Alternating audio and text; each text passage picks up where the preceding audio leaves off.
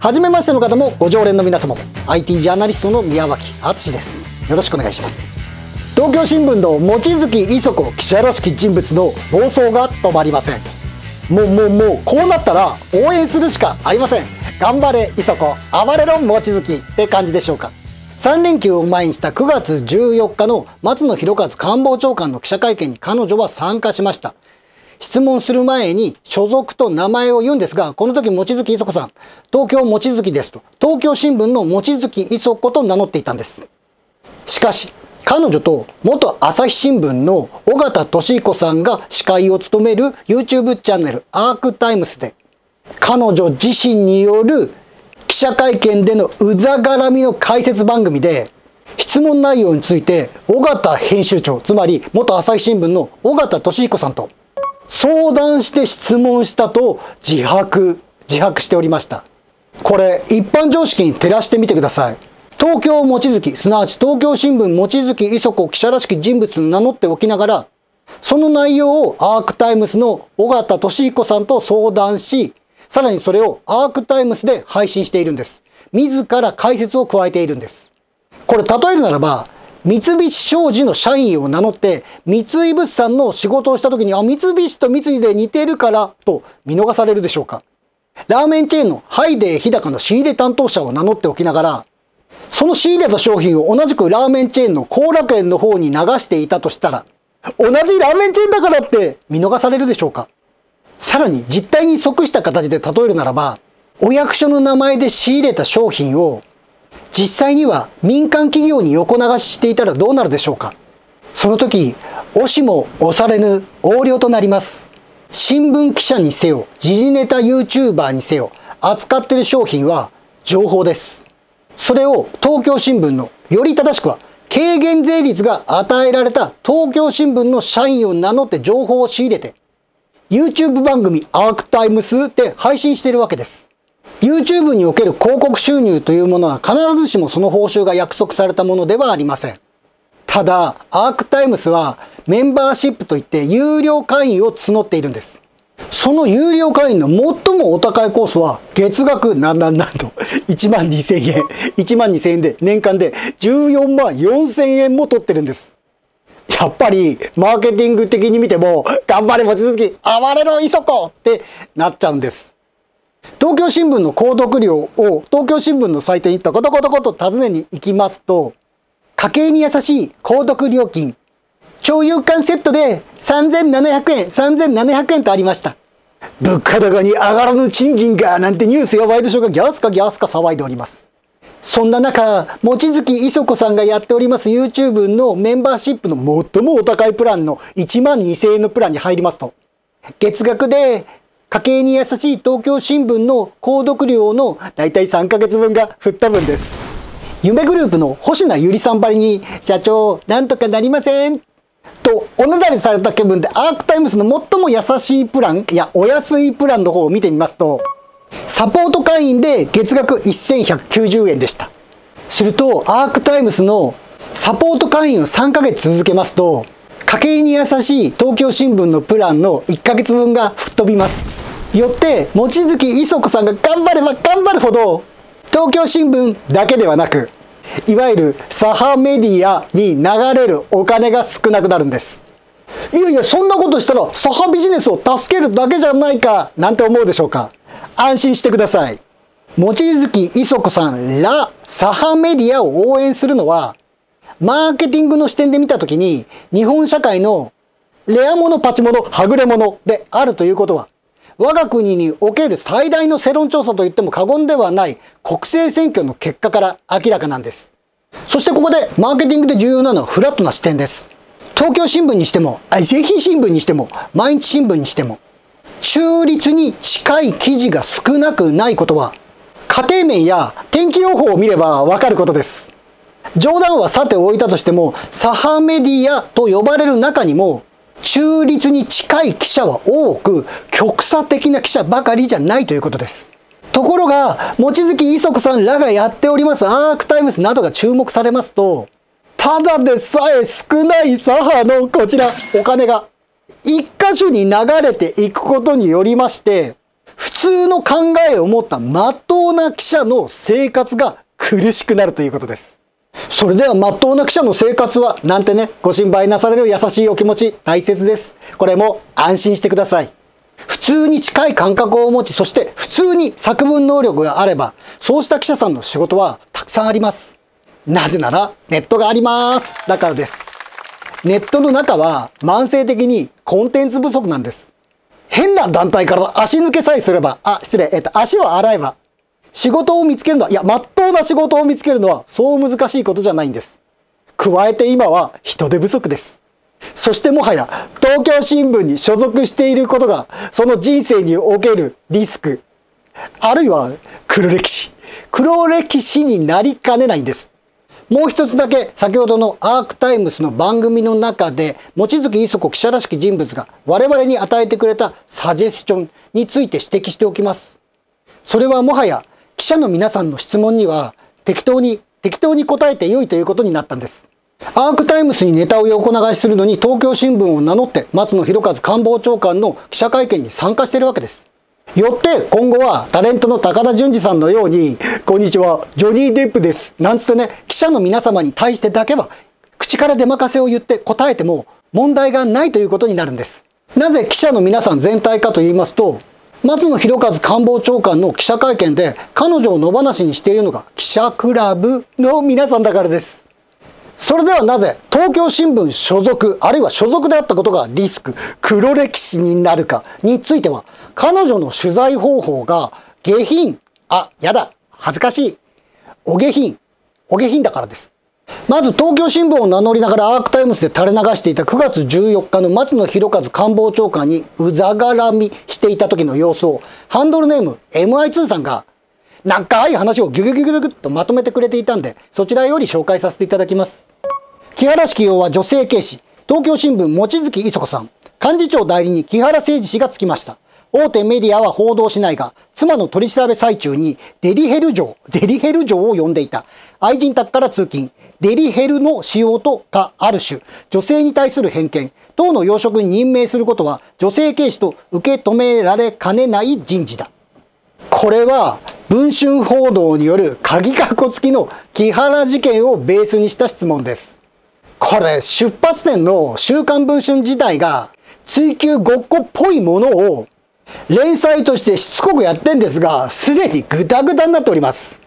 いわゆる木原事件のピークというのは、元警視庁警部補と紹介された佐藤誠さんの記者会見。その記者会見の前、前がピークなんです。以後週刊文春はゴールポストを動かし続けているというのが私の理解です。ところが、望月磯子記者らしき人物、先ほどのご自身のネット番組の中で、性のはけ口、性のはけ口とまで言ってのけたんです。はい、うっかりするとイラッとするこの話題。ケラケラと笑い飛ばすために確認すべきポイントは、お下品ポイントです。この時点でのお下品ポイントはデリヘル城と愛人です。そしてこれらを紹介した上でのシェイのはけ口です。これご自身の番組で御自らの言葉でお話しされているんです。こんなものでは終わりません。次に、ジャニーズ事務所の記者会見における発言は、この私自身、ぽっと頬が赤らむほどお下品、お下品なので、トースポさんの見出し、見出しから紹介させてください。東山紀之新社長の疑惑を望月磯子さんが追及。生中継で陰部陰部シャシェジシャシェジこんなキーワードが飛び交う異常事態とトースポさんまとめております。この時の望月磯子記者らしき人物のネタ元は日韓現代と思われます。記者会見の様子は地上波テレビの公共の電波に乗って日本全国津々浦々に届けられております。もしかして、もしかするとですよ、良い子がお茶の間で見ているかもしれないのに、陰部、ソーセージというよりも、日韓現代にあったもっと細かな描写まで読み上げていたんです。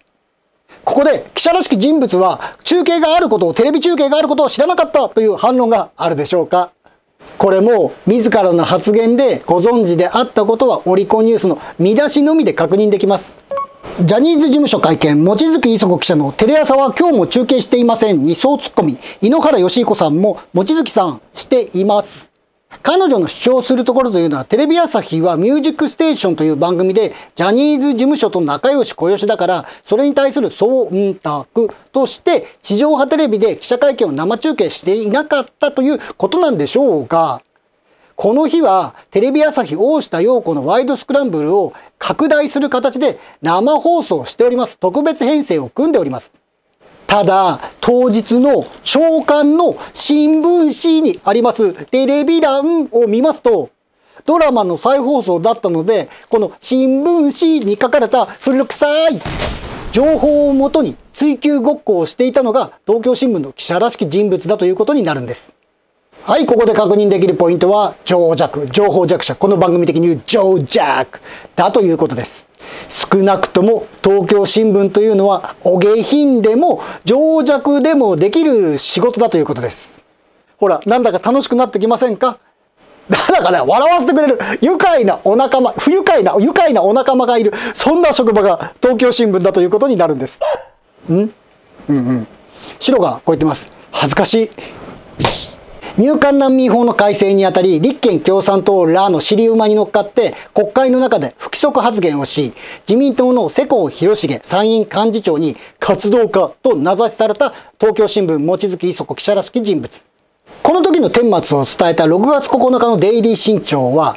東京新聞の若手記者さんのこんなコメントを紹介しておりました。あれは記者の振る舞いではありません。東京新聞の記者がみんな彼女と同じだと思われるのは、甚だ迷惑で恥ずかしい。なぜ彼女だけあんな自由奔放な取材を許されるのか理解に苦しみます。この若手記者のコメントから3ヶ月の月日が流れました。今はデリヘル城に愛人に陰部にソーセージ、そして新聞紙。さらにジャニーズ事務所の会見を前に行われた当事者の会の記者会見。ここで当事者の皆さんに戦えと焚きつけておりました。この戦えという取材という名の煽り運転に、望月磯子記者らしき人物との対話からどうもお仲間と思われる被害者のパートナーという、そんな人物から、望月さん、無理なのよと叱られておりました。わかりやすく言うと、当事者のパートナーとはその当事者の奥様のことなんですが、当事者のお気持ちを代弁して、ジャニーズ事務所に対して、謝ってほしいのよと、こう望月さんに訴えたところ、望月さんなんと、私ですかと、状況を飲み込めないお返事をしたと、当時のトースポが記事にしておりました。この時焚きつけたことは人権的な解釈をするならば、セカンドレイプ、セカンドレイプにあたります。ただ、この行為はジャニーズ事務所の記者会見でも行われておりました。仲間の訴える言葉の意味すら理解せず、人権だとか言ってるのにセカンドレイプをしていることにも気づかない。しかもそれを繰り返しているのが東京新聞の記者らしき人物だということです。そんな東京新聞の記者という立場を利用して、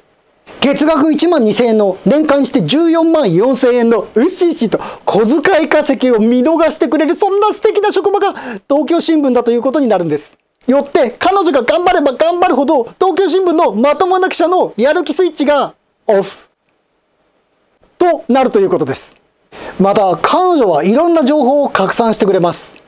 ジャニーズ事務所の騒動に便乗するとしか思えないような形で映画業界の性被害について第三者委員会を立ち上げろすなわち国の関与をしろというそんな動きに日本共産党がコラボしていることをうっかりと教えてくれちゃいました。ん？うんうん。白がこう言ってます。炭鉱のカナリア。炭鉱のカナリアとは、危機を知らせる何かの存在についてのいわば代名詞です。彼女がギャースかギャースか大騒ぎすることによって、本当の日本社会の問題が可視化されること、一般社団法人コラボさんをきっかけに、困難女性支援法に重大な問題があることが少なくとも日本社会のネット界隈では共有されました。差し詰め活動家の旧館長あるいは悪意のカナリアとして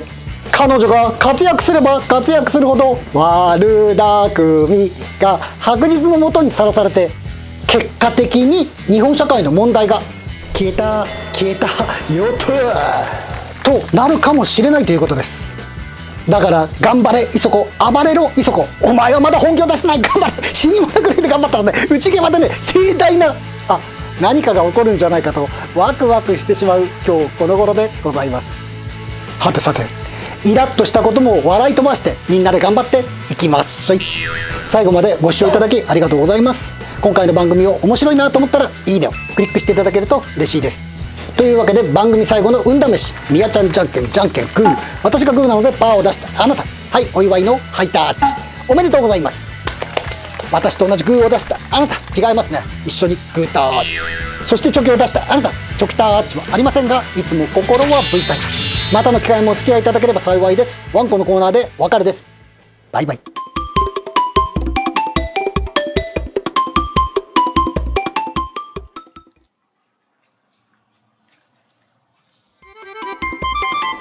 バイバイ。